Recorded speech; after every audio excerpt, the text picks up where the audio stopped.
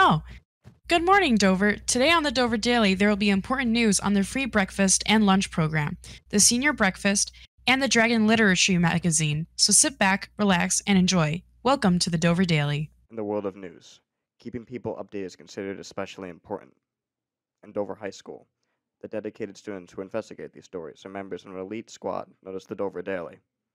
These are their stories. Good morning, Dover. Today's Thursday is in Thumper from Bambi. The food buses will start their routes at 10 a.m. this week on Monday, Wednesday, and Friday, and will deliver to all the usual stops. Today is Friday, so don't forget to get your lunch. Class of 2020, please be sure to check your Google Classroom as Miss Davies Bogan has posted many important announcements that you need to keep up to date on. Remember to always stay up to date.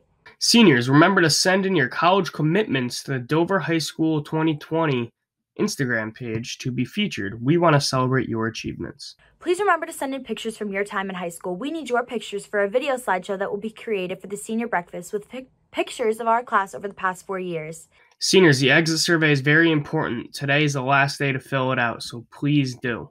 Now on to Olivia Martinez with ESDN. Hi, I'm Olivia Martinez and I'll be your ESDN host today. I hope everybody remembers to stay active and to continue filling out your PE logs. Did you know that American football is derived from soccer and rugby? Up next will be Jose with college news. Good morning, Dover. I'm your new college host, JC.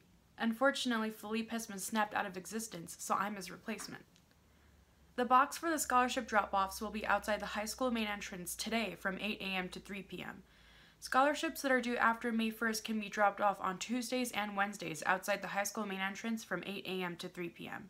In addition, if there's any scholarship applications that you want to be sent in, they can be emailed to catherine.riley at doverschools.org. Now to John with the weather. What's up, Dover? Let's go to the weather forecast for today, shall we? The high temperature for today will be 65 and the low for the day will be 47. Humidity will be at 77%, so it'll feel slightly toastier. Looks like we'll see some rainfall dispersed throughout the day, with a chance of accumulation at 80%. Have a frolic Friday, Dover. Now, before we get into Kayla for covering world news as usual, you know what time it is, guys. It's time for a chug. Got Coca Cola right here. Let's see if I can do this. Here we go.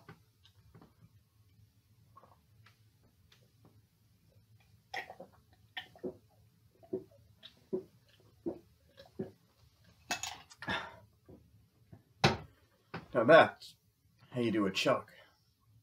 And a special Dover Daily happy birthday to Diego Lopez Hernandez and Timothy Packrat. And on that note, have a thrilling Thursday, Dover.